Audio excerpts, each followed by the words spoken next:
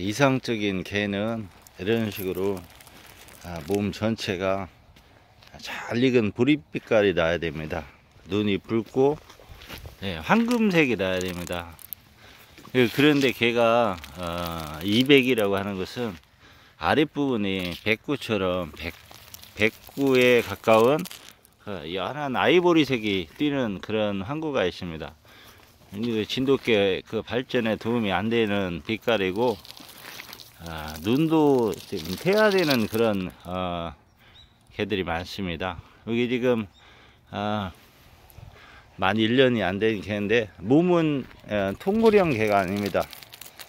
어, 좀 작지만은 아주 성품이 강하고 털 색깔이 이쁘고 아, 아, 눈이 빨갛고 예.